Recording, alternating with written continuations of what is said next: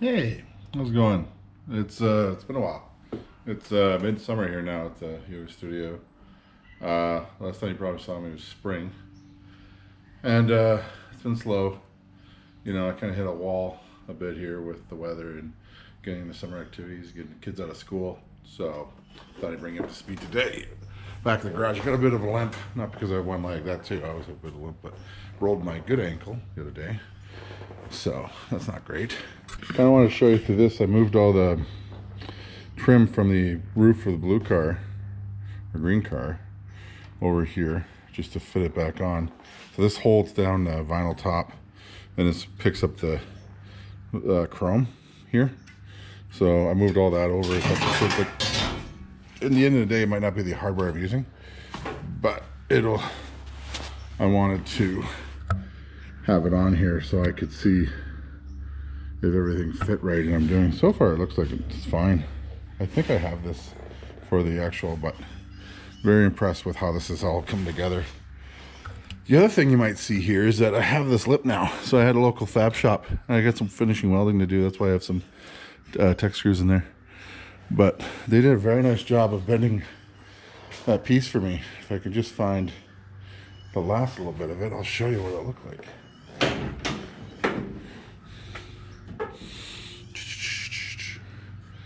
of course, as soon as you need something, it disappears, doesn't it? So he cut. So this is the piece that I had made at the fab shop. Did about, I think it was three feet, or a couple rows of three feet if I've cut it down. This was my attempt at it. it looks like just hot garbage. So to have this done, very nice fellow. I think he charged me 100 bucks for getting it all done. And it's pretty much all installed. If you see, I gotta tack it up the front here.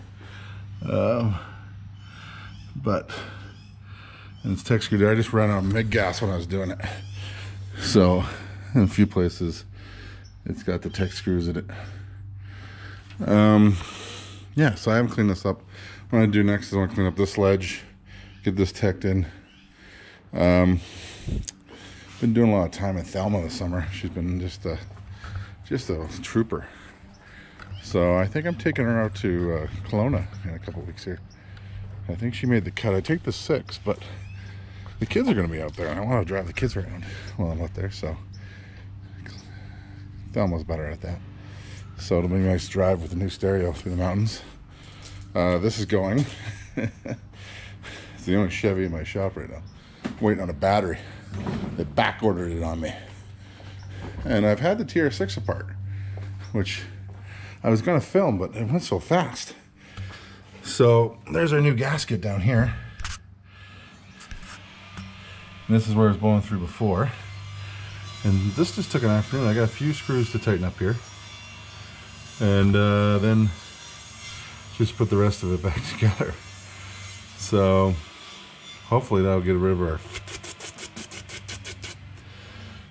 so it's not like I've been doing tons without you. Just little things.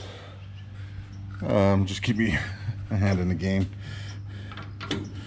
The other thing I'm going to do so I think I'm moving the passenger driver's side door on the 64 back to uh, crank windows.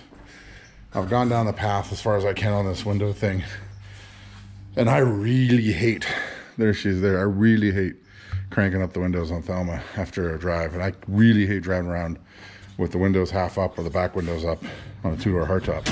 Doesn't look right, but I also, finding power windows uh, hardware for the back of these cars is just more difficult than I want to go down the path with. And I've tried to retrofit a couple things. So I've put the back ones in on cranks. So we got kind of a hybrid now. The back ones, and they're working really well. This one's got a bit of a clunk on the way up, but look how nice that goes up. And then back down again. She'll clunk on the way down too. Actually, oh, there she goes. She clunks on the way down. But that one is, is even better. So, yeah. So we're gonna move this. I got all the hardware, change them back to roll up. So we're gonna do that. I was hoping to get back to long-term storage this weekend to get the clip, but that's not gonna happen kids' uh, sports have cropped back up again, and I am now pinned this weekend. Surprise, surprise. So, stay tuned. I think it's too hot to weld. I think it's too hot to weld, but I don't know choices here. Holy crap, it's hot. So this is what this is to look like. Ooh.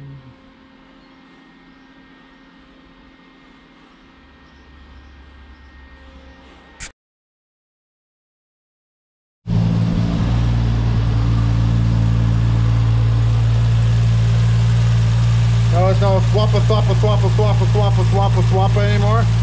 Foot, foot, foot, foot, foot, foot, foot, foot, foot. Exhaust leak gone.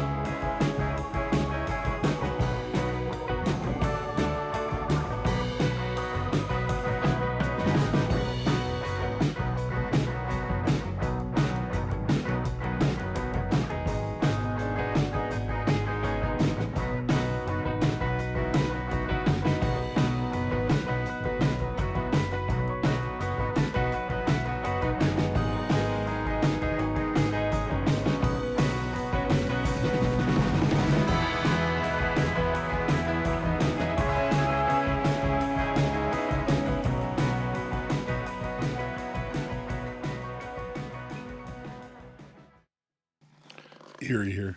This is long-term storage. And you can tell I haven't been here for a long time because it's kind of grown in. Um, today's hateful task is getting the clip back up to Calgary. And uh, here she is. And I played with the idea of getting a trailer and just loading it up and taking it apart back home, but that never came to fruition. So I'm here today. And I get to take it apart. Yay. So stay tuned, I guess. If you like that kind of thing. So the idea here is I'm going to take this one apart. this is one from the California car. Uh, this one is the one from the two you see, I don't know if you can see that, but it's got some rust issues there. So it's not candidate to go back on. So this will be our clip for the most part. So we'll leave the we'll leave this one together here, and we'll take this one apart. And when I say we, I mean mostly me. So here we go. So, fender, cross brace, fender.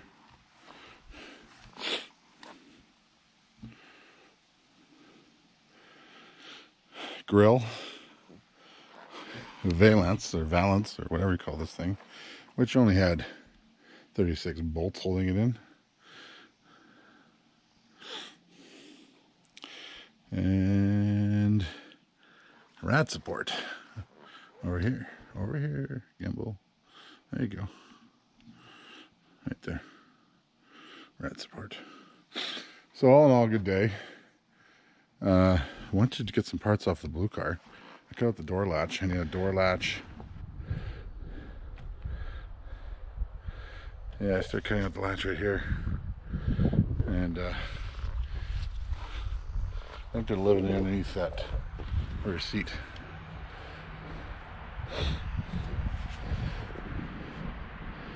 Because there was about 40 of them for a second there. There's one now. But I'm gonna let them be. Oh, the dog got into him. Jesus.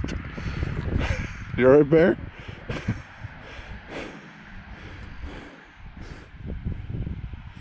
yeah. Jesus. Whoops.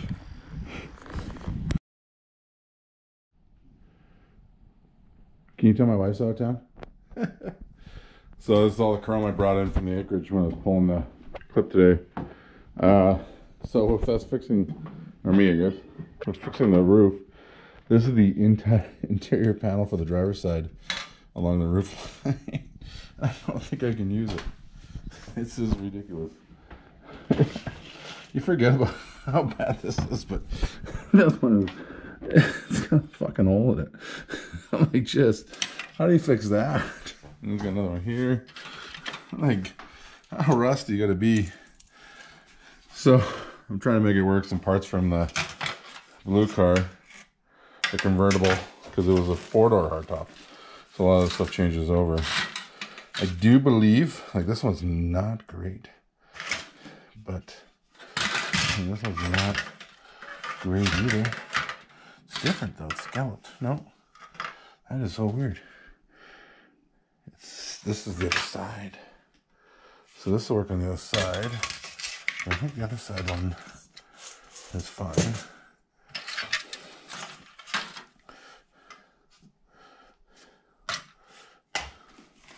This will work on the other side too.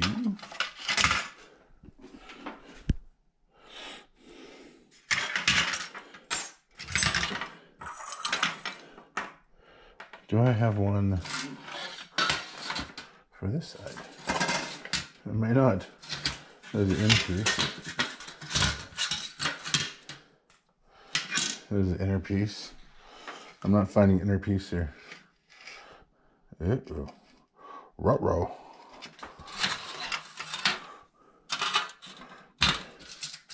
Inner, inner, inner.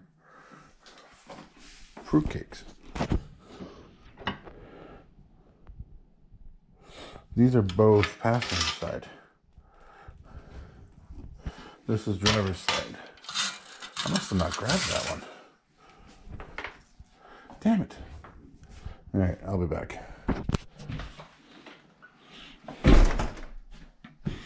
You can tell my wife's still in town. um, so I've been organizing the screws. Kind of, I got some baggies coming from Amazon probably mostly used for cocaine, I would imagine. Um, these are all the chrome interior screws. What I assume are chrome interior screws.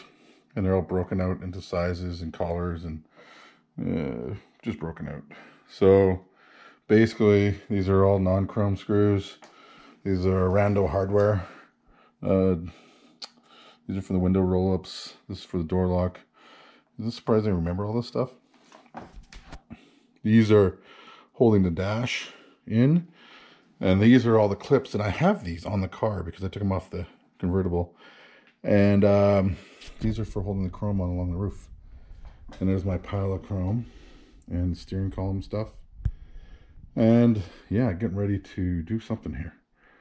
getting ready to basically um, have all this stuff organized because like a lot of this stuff came out years ago. And here's we cut this off of the blue car went on the acreage there before the hornets turned south on us. And I'm just kind of put a little vinegar to it just to kind of get the rust off so don't strip out because these strip out really easy. And I've stripped around the driver's side door and I want to fix that. So yeah. So what I'm going to do now, because I'm waiting for the baggies to come, is that I am doing a major road trip in uh. Hey, how's it going?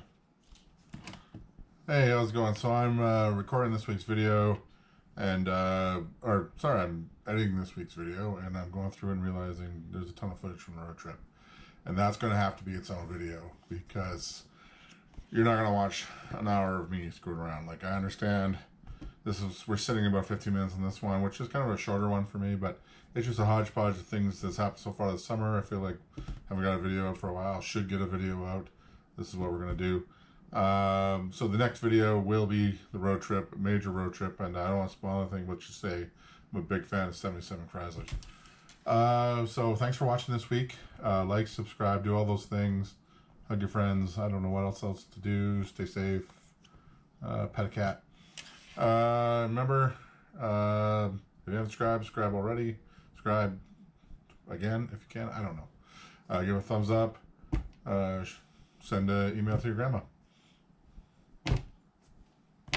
Anyway, uh, thanks for watching, and remember, Stumpy loves you.